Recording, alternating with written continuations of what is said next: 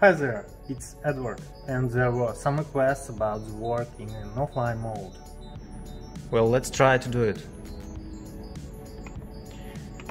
As you can see, my software is in Russian, but you can compare these signs to your software to figure out how to do it. So first of all, we create manual coordinate system. Here it is. We use a plane, a line and a point. But it's just an example, you can use whatever you want. Next, we put this manual coordinate system to a cycle, which starts here and ends here. By the way, don't forget to save this coordinate system with the number 1 and it should be inside this cycle. Next, we add a special condition to this cycle. Here it is. We write name of this condition here. We press equal sign here and we write here number one Okay, next. Uh, we create the string variable above this condition with the cycle. Let's watch.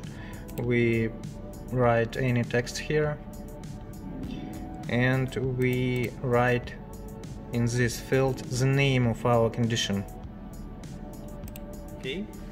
The last step is to download this coordinate system which is number one and this should be after this cycle and this condition and the string variable okay. The next step is to turn on an offline mode in the configuration of your machine. Here it is. Okay. The next step is to add CAD model into CAD 100 and put the coordinate system in the necessary place. Here it is for this model. Okay, I've copied that program to show you how it works. Okay, we start play mode.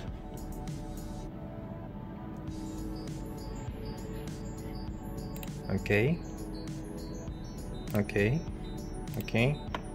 And here it is that condition. And it asks should we do manual coordinate system? Should we use it or not? We press no.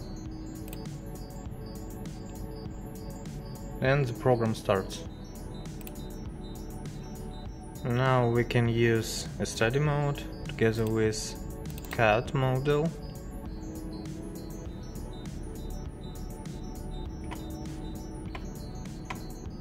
and to start designing the program in an offline mode we can use any surfaces.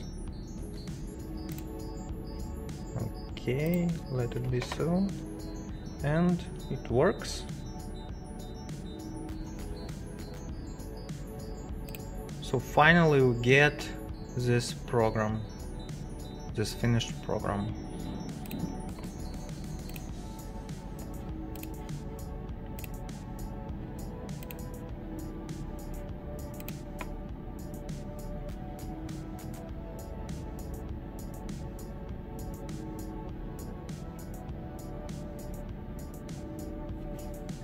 Well, I hope this video was useful for you and you will leave this reaction below.